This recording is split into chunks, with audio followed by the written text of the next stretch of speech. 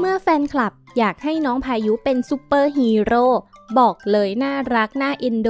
สุดๆ มีเรื่องราวน่ารักมาเรียกรอยยิ้มให้แฟนคลับกันอีกแล้วล่ะค่ะสำหรับคู่แฝดซุปตา น้องสายฟ้าและน้องพายุ ลูกชายสุดที่รักของคุณแม่ชมพู่อารยา และคุณพ่อน็อตวิสรุตยิ่งช่วงนี้กำลังโตเป็นหนุ่มน้อยช่างคุย ขี้เล่นอารมณ์ดีสุดๆทำให้ไปที่ไหนก็มีแต่คนหลงรักเต็มบ้านเต็มเมือง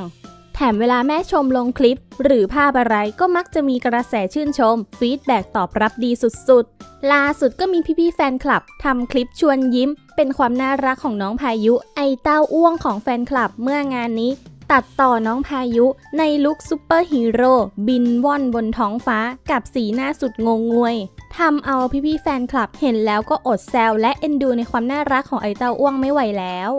เราเก็บคลิปมาฝากท่านผู้ชมด้วยนะคะ ไปดูกันเลยจ้า